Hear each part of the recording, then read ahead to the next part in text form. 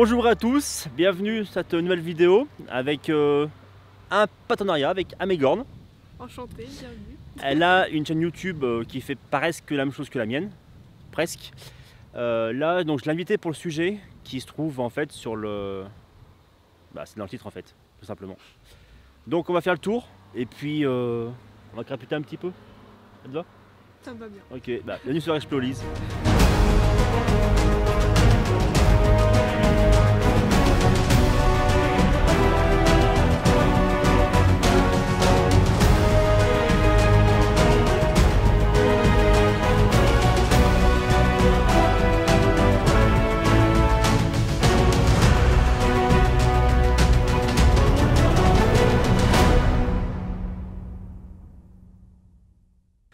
Pour trouver le lieu, c'est pas compliqué du tout en fait. Vous partez de Pimpon en direction de Gaël.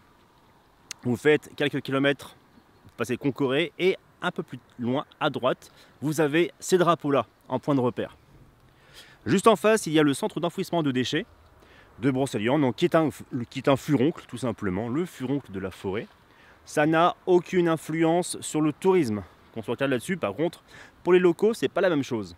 Ce n'est pas non plus un spot urbex. Le lieu est entièrement ouvert au public. J'ai fait le repérage l'an dernier et en fait, euh, eh ben, ça fait un an que j'ai le spot en tête et l'histoire. Donc, on fait le tour du propriétaire.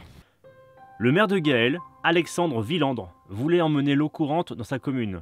N'ayant pas de pognon, il décide de céder plusieurs hectares de landes communales à l'armée française. La première négociation s'est faite à partir de 1921 avec le ministre Louis Barthou, ministre de la guerre, jusqu'aux dernières négociations en 1923 avec le ministre André Maginot que l'on connaît bien. Le 10 décembre, il confirme le choix de faire une base de décollage à Point-Clos, commune de Gaël en forêt de Pimpon. Le lieu est déclaré terrain militaire dès 1922, quand le ministère est devenu propriétaire de la base du camp, soit sur les communes de Concoré et de Gaël, afin de commencer les travaux entre 1922 et 1925. La France, possédant encore ses colonies africaines, envoyait des ouvriers malgaches et des soldats de la compagnie du 41e régiment d'infanterie de Rennes faire les travaux de terrassement à la pioche. Le futur camp d'aviation fera une centaine d'hectares au total. Il est officiellement créé en 1925 et opérationnel en 1927. Le camp ici se nommait à ce moment-là le camp d'aviation de Gaël, et tous les ans, les aviateurs militaires venaient de bases de Chartres, de Villacoublay et de Tours afin de faire des manœuvres d'observation. Alors, qui dit camp militaire dit commerce. Eh ouais, sur le lieu, il y avait pas loin de 5 commerces différents, une boulangerie, deux cafés, un hôtel et un restaurant. Ça va ensemble tout simplement. Le site n'était pas complètement actif. Il y avait 4 à 5 personnes à l'année pour maintenir le camp contre la végétation, pour l'entretien tout simplement. Donc ce qui fait que n'était pas toujours occupé. La base sert notamment uniquement pour les grandes manœuvres en été, jusqu'en 1939. Après, ça change.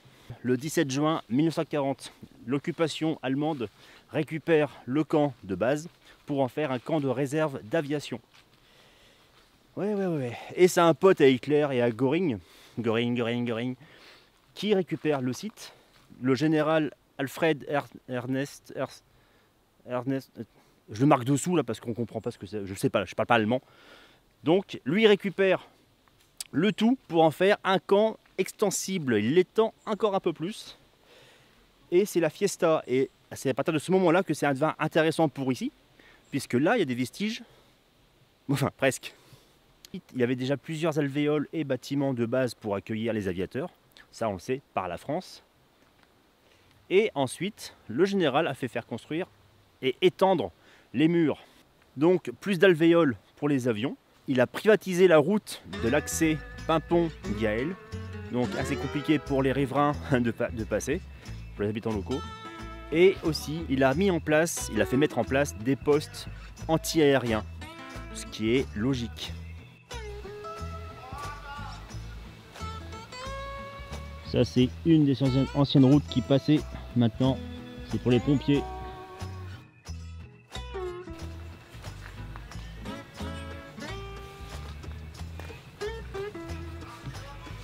Végétation murée, c'est ce qui reste d'un des bâtiments nommé la maison de l'adjudant.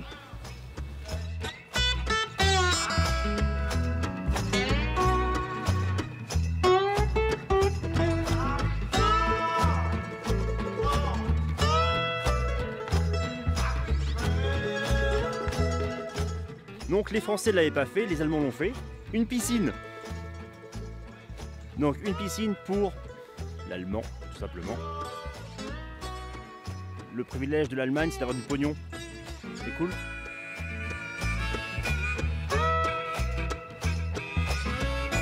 La piscine allemande qui est maintenant un réservoir pour les pompiers.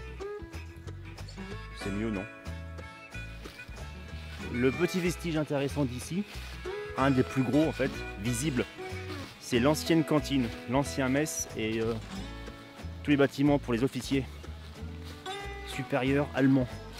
Je répète, hein, les Français n'avaient pas ça. C'est l'Allemagne qui a tout construit. Donc il reste quelque chose. Enfin, presque quelque chose.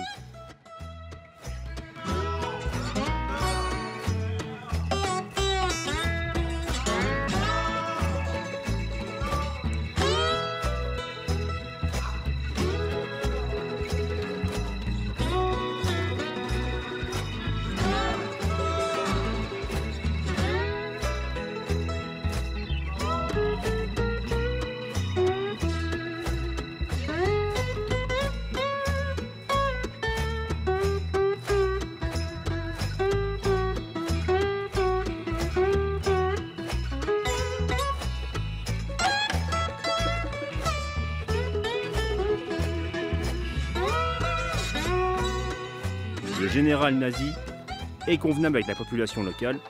Il réquisitionne 3000 ouvriers pour pouvoir étendre les murs du camp. Et il les paye en plus. Ça, c'est pas sympa comme mec, franchement, c'est bien, c'est sympa, ça change un peu. Comme on sait tous que la guerre profite d'abord au patronat, le général fait venir deux entreprises. Une allemande, qui est la petite entreprise Moser, pour ceux qui connaissent. C'est juste l'entreprise qui arme militairement l'Allemagne. Et la deuxième, entreprise rennaise qui s'appelle Tomine. Et je ne sais pas ce que fait cette entreprise. En tout cas, elle se reprend plein les poches. Qui va se passer, je vous demande absolument de ne pas le reproduire chez vous. Si vous n'êtes pas habitué à la forêt, si vous n'êtes pas habitué à courir comme des cons, si vous n'êtes pas habitué à être en danger, ce que je vais faire, vous ne le faites pas chez vous, c'est très important. Donc je vous, voilà, je vous conseille de ne pas le faire. Euh, parce que c'est dangereux. Donc, je vais passer les fougères qui sont là. Tout simplement. Attention, c'est violent.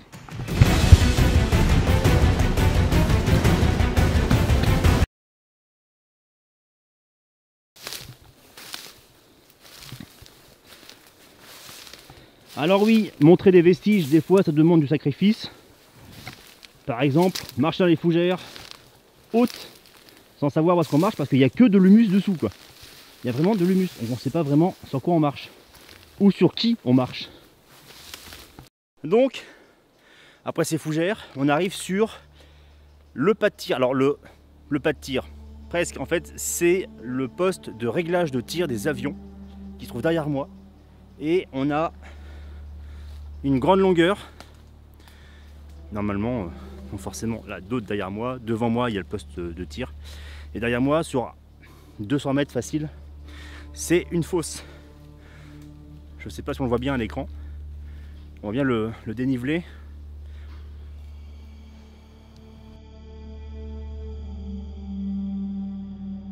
Si vous êtes spécialiste de l'aviation allemande, militaire allemande, années 39-45, dites-moi comment on réglait la hausse de tir des avions ça m'intéresse vachement parce qu'on est quand même sur une grosse distance, environ 200 mètres. La fosse fait à peu près 200 mètres de long sur 25 mètres de large. Et le, bâtiment n'est pas gros non plus. quoi. Donc est-ce qu'on réglait un avion par avion ou est-ce qu'on réglait deux avions en même temps? Ça, j'ai aucune réponse là-dessus. Et c'est vrai que le bâtiment, il est spécifique. Hein.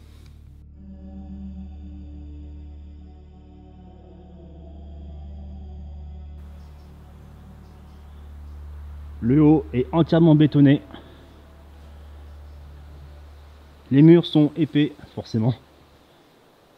Vraiment épais. Et bah, la couche de bois qui tue, c'est seulement pour la décoration. Donc on n'est vraiment pas large pour les cibles. Sur le site en lui-même, pendant l'occupation. Le général Alfred Ernst, Ernst, lui quoi, a commencé la création d'un arboretum. C'était un putain de gros fan d'arbres rares et de plantes en tout genre. De 42 à 44, les Anglais ont un petit peu bombardé le camp. Parce qu'apparemment c'est la fin de la guerre, ou bientôt c'est proche. Avec les bombardiers, ou les chasseurs bombardiers Mosquito, ce machin là, ce truc là. Ça va comme un petit avion. Plus des bombardements, les Allemands font tout sauter à l'aide d'explosifs, histoire d'être sympa et de partir en Allemagne tranquille. J'aime bien les Allemands, ils se font tout sauter, ils se barrent. C'est peut-être aussi pour ça d'ailleurs que, à parté, il y a des blocos allemands en Brocéliande et il n'y a plus de traces écrites parce qu'ils ont tout fait cramer en partant. Voilà, c'est un sujet qui me taraude depuis un petit moment à en parler. C'est la portée. Gaël, par la suite, est libéré par les troupes du général Patton. Les mêmes troupes referont quelques bâtiments pour continuer la lutte ouvrière. Non, je déconne. Pour continuer la fin de la guerre. Pour aller jusqu'à la fin de la guerre. J'ai besoin de dormir. De 45 à 46, le terrain est entièrement nettoyé, donc forcément, faut tout foutre par terre, faut tout récupérer, les munitions, enfin, faut tout désarmer en fait, le site.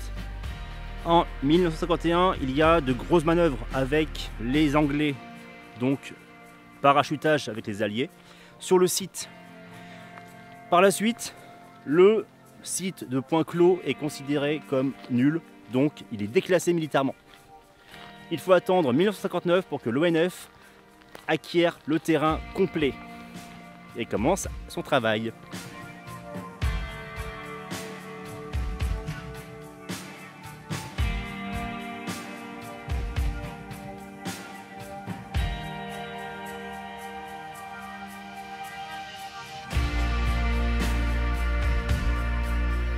Ça, c'est la deuxième piscine qui est quand même beaucoup plus balèze que la première de tout à l'heure. Je vous l'accorde. Je pense que ça c'est la piscine olympique. Tu arrives premier, t'as la croix de fer. En 2002, une stèle commémorative est posée devant l'entrée principale, qui se trouve être le restant de piste d'atterrissage, afin de ne pas oublier ce site qui reste très important pour l'histoire militaire de Bretagne. La vidéo maintenant terminée, j'espère que ça vous aura plu comme sujet. N'hésitez pas à vous abonner à ma chaîne, l'abonnement est gratuit. N'hésitez pas à faire un tour non plus à la chaîne de Amégorn. Ou. Comme, comme on veut. C'est même pas en fait, c'est génial. Euh, Qu'est-ce que je veux dire? Là-dessus, donc elle a des sujets 39-45 que je ne fais pas. Très intéressant, donc allez faire un tour. Ça peut être très instructif. Sinon, on se voit pour une prochaine vidéo à caractère soit urbex, soit histo, soit complètement on ne sait pas. Salut